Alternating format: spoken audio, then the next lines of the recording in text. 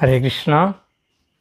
সমস্ত শ্রোতা ভক্তদের পুনরায় আমার প্রাণঢালা ভালোবাসা, অভিনন্দন, শুভেচ্ছা এবং ভক্তিপূর্ণ প্রণাম জানিয়ে অত্যন্ত গুরুত্বপূর্ণ বিষয় আলোচনা করতে যাচ্ছি। মনোযোগ সহকারে আপনারা শ্রবণ করবেন।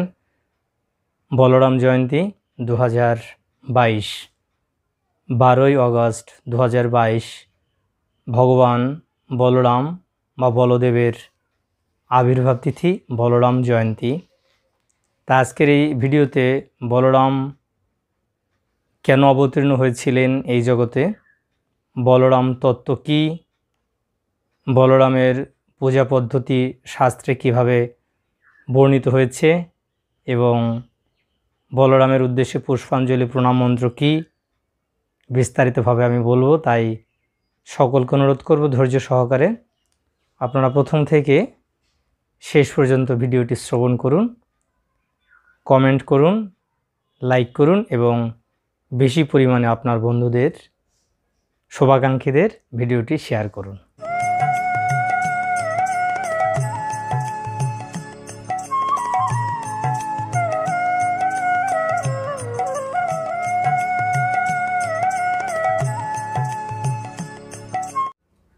হরে কৃষ্ণ।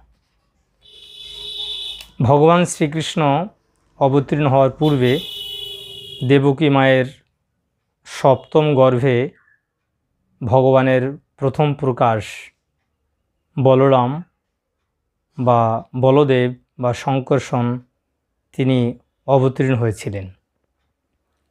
ভগবান শ্রীকৃষ্ণের নির্দেশে যোগমায়া দেবকীর গর্ভ থেকে বলরামকে রোহিণীর গর্ভে স্থানান্তরিত করেছিলেন।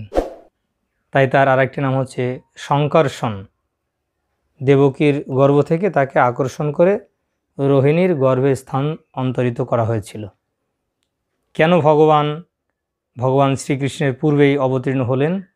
শাস্ত্রে বর্ণনা আছে যে ভগবানের অবতীর্ণের পূর্বে তার গুরুবর্গ, পিতামাতা, সমস্ত দেবতারা অবতীর্ণ হন। তাই বলদেব যেহেতু ভগবানের সেবা করার জন্য তিনি তার শয্যারূপে, তার ছত্ররূপে, পাদুকারূপে সব কিছু রূপে তিনি প্রকাশিত হন। তাই বলদেবের আরেকটি নাম হচ্ছে অনন্ত। অনন্তভাবে অনন্ত রূপে ভগবানের সেবা তিনি সম্পাদন করেন। তাই অনন্ত মুখে তিনি ভগবানের মহিমা কীর্তনও করেন। তাই বলদেব হচ্ছেন আদি গুরু, গুরুতত্ত্ব। তাই গুরুদেবের কৃপার মাধ্যমেই আমরা কৃষ্ণের কৃপা লাভ করতে পারি। তাই বলরাম ভগবানের সেবক রূপে তিনি এই জগতে এসে ভগবানকে কীভাবে সুন্দরভাবে সেবা সম্পাদন করতে হয়, তা তিনি আচরণ করে আমাদেরকে শিক্ষাদান করেন। তাই আমরা দেখি শ্রী চৈতন্য মহাপ্রভুর আবির্ভাবের পূর্বেও নিত্যানন্দ প্রভু যিনি হচ্ছেন বলরাম অবতীর্ণ হয়েছেন। তাই ব্রজেন্দ্র নন্দন যেই শচীসূত হইল, সেই বলরাম হইল নিতাই তাই নিত্যানন্দ প্রভু খুব কৃপালু, তেমনি বলরাম অত্যন্ত কৃপালু, তিনি হচ্ছেন গুরুতত্ত্ব। গুরুদেব হচ্ছেন ভগবানের প্রতিনিধি। তাই গুরুদেবের মাধ্যমে আমরা ভগবানকে লাভ করতে পারি। তাই বলরা, বলরাম জয়ন্তী বারোই আগস্ট অত্যন্ত নিষ্ঠা সহকারে পালন করতে হবে। কেননা এই দিন হচ্ছে শ্রাবণ পূর্ণিমা। এই শ্রাবণ পূর্ণিমার দিনে মধ্যাহ্ন কালে ভগবান বলরাম অবতীর্ণ হয়েছিলেন। তাই এই বলরামের পূজা পদ্ধতি আমি বর্ণনা করার পূর্বে বলব, কীভাবে ভগবানকে অভিষেক করবেন। যদি অষ্টধাতু বা পেতলের বিগ্রহ থাকে বা কাষ্ঠ বিগ্রহ থাকে অথবা পাথরের বিগ্রহ থাকে, তাহলে স্নান করানোর সুবিধা হয়। যদি সেটা না থাকে, ভগবানের, কৃষ্ণ বলরামের আলেখ্য, চিত্রপট অথবা কোথাও কোথাও মাটির বিগ্রহ রেখে আরাধনা করা হয়, তার সামনে শালগ্রাম শিলাকে আহ্বান করে শালগ্রাম শিলাকে ষোড়শ উপাচারে পূজা করা হয়। অভিষেক করা হয়। তেমনি আপনারাও এটা করতে পারেন। যদি একান্তই সেটা সম্ভব না হয়, বেশি করে হরিনাম সংকীর্তন এবং ভগবানকে নানা উপাচারে পূজা মন্ত্রের মাধ্যমে ভগবানকে ভোগ অর্পণ এবং পুষ্পাঞ্জলি। পুষ্পাঞ্জলি কীভাবে দেবেন? বলরামের প্রণাম মন্ত্র আমি বলছি। প্রথমে গুরু প্রণাম মন্ত্র, তারপরে প্রভুপাদ প্রণাম মন্ত্র, তারপরে বৈষ্ণব প্রণাম মন্ত্র এভাবে ভগবানের পার্শ্বদের প্রণাম মন্ত্র বলে তারপরে বলরামের প্রণাম মন্ত্র বলবেন। নমস্তে তু হলো গ্রাম, নমস্তে মুসলা উধ, নমস্তে রেবতী কান্ত, নমস্তে ভক্তবৎসল নমস্তে বলিনাম শ্রেষ্ঠ, নমস্তে ধরণী ধর, প্রলম্বারে নমস্তে তু, ত্রাহিমাম কৃষ্ণ পূর্বজ। এই মন্ত্রটি তিনবার বলে এসো পুষ্পাঞ্জলি, সমর্পয় আমি, ভগবান বলরামের চরণে অর্পণ করবেন, তারপরে মহা আরতি নিবেদন করবেন। একসময় দুর্যোধন, তিনি পার বিপাক মণিকে উনি বলরামের পূজা পদ্ধতি সম্বন্ধে জানার জন্য অনুরোধ করেছিলেন। আমি সেই শাস্ত্র থেকে সরাসরি পাঠ করে আপনাদের শ্রবণ করাচ্ছি। যে কত নিষ্ঠা সহকারে দুর্যোধন বলরামের পূজা করেছিলেন এবং তিনি সিদ্ধি লাভ করেছিলেন। এটা আমাদের অবশ্যই শ্রবণ করা উচিত। দুর্যোধন বলিলেন, হে মুনিবর, দেবদেব প্রভু বলরামের পটল বলুন। আমি ইহা দ্বারা প্রভু বলরামের পাদপদ্মের সেবা করিব। পাড় বিপাক কহিলেন, বলরামের গুচ্ছ পটল সিদ্ধিপ্রদ জানিবে ব্রহ্মা নির্জনে উহা নারদকে দিয়াছিলেন। প্রথমে প্রণব ওং, তারপর কাম্বিজ ক্লিং, তারপর চতুর্থন্ত কালিন্দি তেদন ওং সংকর্ষণ পদ বিন্যস্ত করিয়া পরে সাহা বিন্যাস করিবে। ওং ক্লিং, কালিন্দি ভেদনায় শঙ্করষণায় সাহা এই ষোড়শ অক্ষর মন্ত্ররাজ ব্রহ্মা কর্তৃক কথিত হইয়াছে।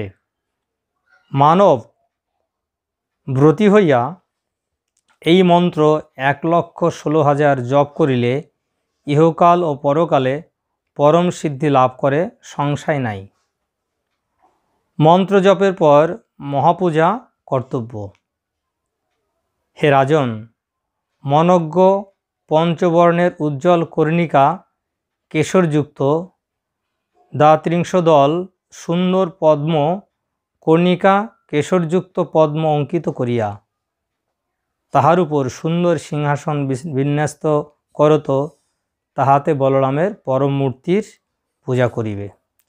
ওং নম ভগবতে ইত্যাদি সাহান্ত মূলের লিখিত মন্ত্রে শিখাবন্ধনপূর্বক সর্বদিকে বলরামের প্রণাম করিয়া তাহার সম্মুখে স্বয়ং নত হইয়া উপবেশন করিবে। ওং জয় জয় অনন্ত ইত্যাদি মম সম্মুখে ভব ইত্যন্ত মূল লিখিত মন্ত্রে আবাহন করিবে। ওং নমস্তুতে ইত্যাদি রেবতী রমণ নমস্তুতে ইত্যন্ত মূলের লিখিত মন্ত্রে আসন পাদ্য, অর্ঘ্য, স্নানীয়, মধুপর্ক, ধূপ, দ্বীপ যজ্ঞোপবিত নৈবদ্য, বস্ত্র, ভূষণ, গন্ধ, পুষ্প, অক্ষত, পুষ্পাঞ্জলি ও নিরজনাদি উপাচার প্রদান করিবে। ওং বিষ্ণবে ইত্যাদি শ্রীকৃষ্ণায় নমঃ। ইত্যন্ত মূলের লিখিত মন্ত্রে পূজা করিয়া ওং পাদগুল্ফ ইত্যাদি পূজয়ামি ইত্যন্ত মূলাদি লিখিত মন্ত্রে সংকল্প করিয়া পাদ, গুল্ফ, জানু, উরু, কোটি, উদর, পার্শ্ব, পৃষ্ঠ, ভুজ, অঙ্গ, অধর, নেত্র ও মস্তক প্রভৃতি পৃথক পৃথক সর্বাঙ্গ পূজা করিবে। অনন্তর ওং সংখ্যায় নম, ওং চক্রায় নম, এইরূপে ক্রমান্বয়ে পূর্বে প্রণব ও পরে চতুর্থী বিভক্তন্ত নমঃ শব্দযুক্ত শঙ্খচক্র গদা পদ্ম অশিধনু বাণ হল মুসল কৌস্তব বনমালা শ্রীবৎস পীতম্বর নীলম্বর বংশী বেত্র গরুড়াঙ্ক অলঙ্কার রথ দারুক সুমতি কুমুদ কুমুদক্ষ শ্রীদামাদির নামান্তে পৃথক পৃথক পূজা করিয়া পদ্মের সর্বদিকে স্ব স্থানে বিশ্বাসেন বেদব্যাস, দুর্গা, গণেশ, দিকপাল ও গ্রহাদির পূজা করিবে। অনন্তর পরিসমূহ আদি স্থলা স্থলী পাক বিধানে অগ্নির পূজা করিয়া পূর্বোক্ত মূলমন্ত্রে পঞ্চ পঞ্চবিংশত সহস্র আহুতি প্রদানপূর্বক পুনরায় দ্বাদশ অক্ষর মন্ত্রে আট হাজার এবং চতুর্ভুহ মন্ত্রে আট হাজার হোম করিবে। তারপর অগ্নি প্রদক্ষিণ ও আচার্যকে নমস্কারপূর্বক মহামূল্যবান সুবর্ণ, ভরণ, তাম্রপত্র, সবৎস, গো ও সুবর্ণ দক্ষিণা দ্বারা পূজা করিবে।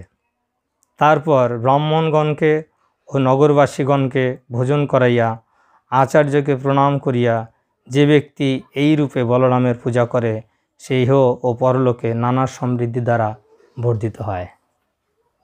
তো অত্যন্ত কঠোর পদ্ধতি এটা। তবে আমাদের জন্য খুব সরল পদ্ধতি এই কলিযুগের জন্য শাস্ত্রে বলা হয়েছে, যখন ভগবানের যে কোনো রূপের আরাধনা করা হোক, সেখানে হরে কৃষ্ণ মহামন্ত্র উদ্দণ্ড নৃত্য কীর্তের কীর্তনের মাধ্যমে ভক্তি সহকারে যখন আমরা ভগবান আরাধনা করব, ভগবান অত্যন্ত প্রসন্ন হবেন।